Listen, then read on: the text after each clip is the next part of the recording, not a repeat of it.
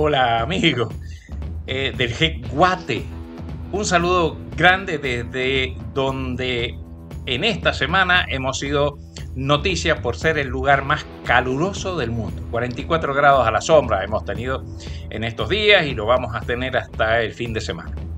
Bueno, por supuesto, desde este lugar, San Juan, Argentina, un caluroso abrazo a todo el grupo Jeguate, en particular a Vilcar y a Betsabe, de la cual he aprendido muchísimo. Así que bueno, nos estamos viendo, un feliz año y que tengan un fabuloso, pero fabuloso primer añito de, eh, de vida.